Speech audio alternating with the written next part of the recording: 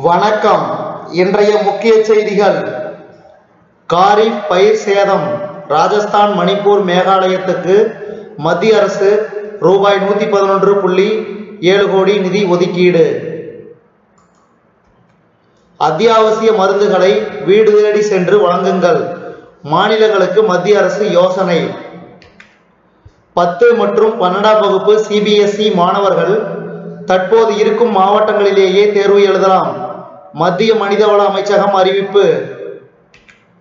வெட்டுக்கிளிகள் தாக்குதலை கட்டுப்படுத்த தீவிர நடவடிக்கை மத்திய வேளாண் அமைச்சகம். பொருளாதாரத்தில் பணப்புழக்கத்தை அதிகரிக்கும் நோக்கில் ரூபாய் இருபது லட்சம் கோடி மதிப்பிலான திட்டங்களை மாநில அரசுகள் செயல்படுத்த வேண்டும் மத்திய அமைச்சர் நிதின் கட்கரி. இந்தியாவில் கொரோனா வைரஸ் நோய் தொற்றிலிருந்து குணமடைவோர் விகிதம் நாற்பத்தி இரண்டு புள்ளி நான்கு சதவீதமாக உ- உள்ளது. மத்திய சுகாதார மற்றும் குடும்ப நல அமைச்சகம்.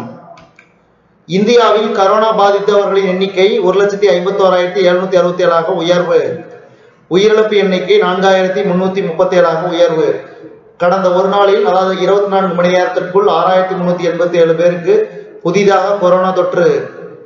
கடந்த ஒரு நாளில் நூத்தி எழுபது பேர் புதிதாக உயிரிழந்துள்ளனர். தமிழகத்தில் மொத்த பாதிப்பு எண்ணிக்கை கொரோனாவின் மொத்த பாதிப்பு எண்ணிக்கை பதினெட்டாயிரத்தி ஐநூத்தி நாற்பத்தைந்தாக உயர்வு. நேற்று ஒரே நாளில் எட்நூத்தி பதினேழு பேருக்கு கரோனா. இதில் நூத்தி முப்பத்தெட்டு பேர் மகாராஷ்டிராவிலிருந்து தமிழகம் வந்தவர்கள். தமிழகத்தில் கொரோனா மூலம் உயிரிழந்தவர்களின் எண்ணிக்கை நூத்தி முப்பத்தி மூன்றாக உயர்வு. சென்னையில் உள்ள தனியார் ஆஸ்பத்திரியின் அதாவது தனியார் மருத்துவமனையின் நான்கு மேல் தளங்களை கொரோனா சிகிச்சைக்காக தமிழக அரசு பயன்படுத்த அனுமதி.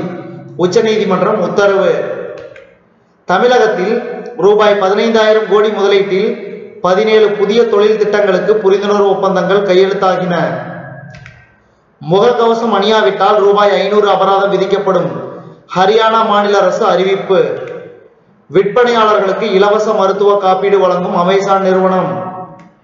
மீராபாய் ஜானு பெயரை அர்ஜுனா விருதுக்கு இந்திய பழுதூக்குதல் சம்மேளனம் மத்திய விளையாட்டு அமைச்சகத்துக்கு பரிந்துரை செய்துள்ளது. ஏற்கனவே மீராபாய் ஜான் அவர்கள் அதாவது விளையாட்டுத்துறையின் மிக உயரிய விருதான ராஜீவ் கேல் ரத்னா விருது பெற்றவர் என்பது குறிப்பிடத்தக்கது. நன்றி.